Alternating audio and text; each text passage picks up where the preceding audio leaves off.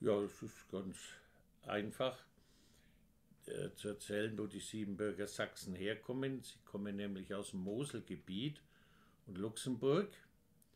Und der ungarische König, Gesa war das, der hat ihnen also optimale Bedingungen im sogenannten Königsboden, weil das war sein Besitz, in Sie, ja, damals hieß es noch nicht Siebenbürgen, sondern Transsilvanien, also die Gegend hinter den Wäldern, hat er ihnen zugewiesen und sie haben sich dann aufgemacht.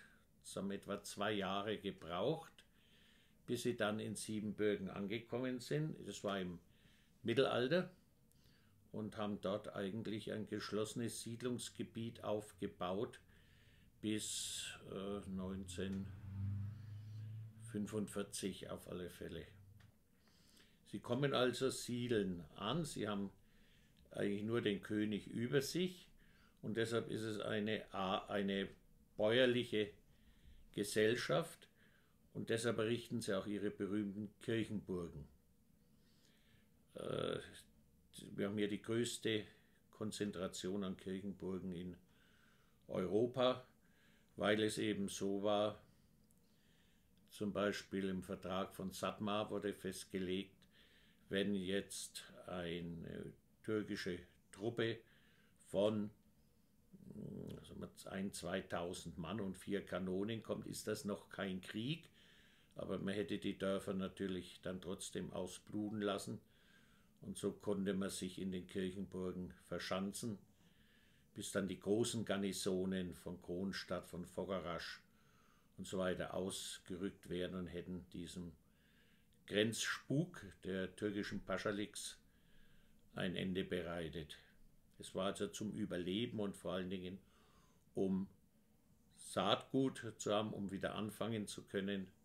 Das war der Sinn dieser Kirchenburgen und hat natürlich die Gemeinschaft unglaublich äh, konzentriert. Man hat sich ja auch von den Ungarn und von den Rumänen unterschieden, dass man den Protestantismus als Konfession angenommen hat. Und so konnten die überleben, wenn man so will, wurden nicht assimiliert. Und wenn einer die versucht hat, diese Gemeinschaft zu verlassen, dann wurde also geächtet sozusagen. Mit dem hat man dann nichts mehr zu tun haben wollen.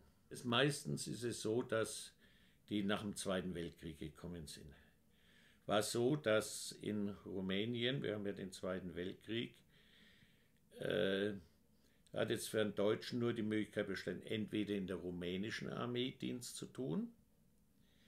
Die deutsche Wehrmacht durfte nicht im Ausland rekrutieren, aber die Waffen-SS. Also sind viele Siebenbürger Sachsen zur Waffen-SS gegangen.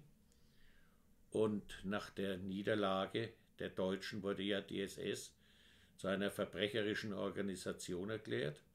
Sie konnten nicht mehr zurückkehren und mussten von dem her also in der Bundesrepublik bleiben und haben dann versucht, auch immer wieder ihre nächsten Verwandten sozusagen nachzuholen. Und der entscheidende Zusammenbruch kam dann mit der Ära Ceausescu, der ja sozusagen Freikaufprämien,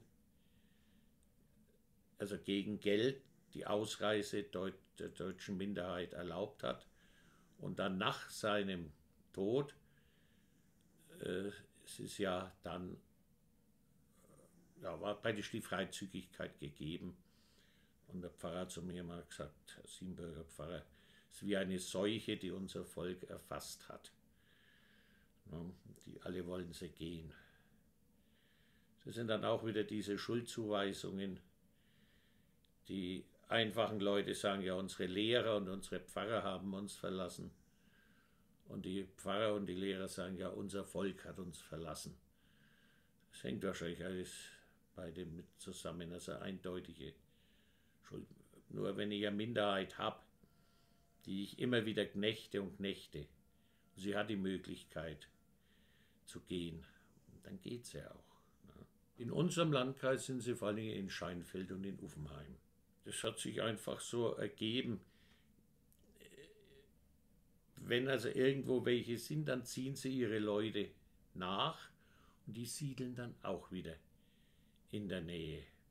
Das, über Siebenbürger Sachsen kann man sehr schön im Uffenheimer Heimatmuseum äh, Exponate sehen aus ihrer Vergangenheit ihrer Geschichte, ihrer Volkskunst und sie sind heute noch recht eng miteinander in Kontakt.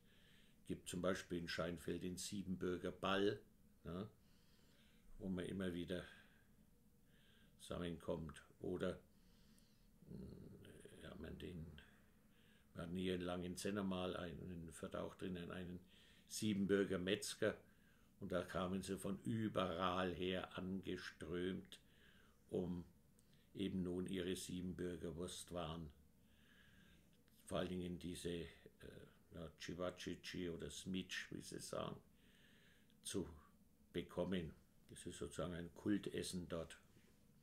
Äh, man sieht es auch immer noch an ihrem, was mir immer auffällt, an ihrem Essen. Sie essen also sehr gern Paprika, äh, würzen auch gern mit oder arbeiten gern mit Maismehl.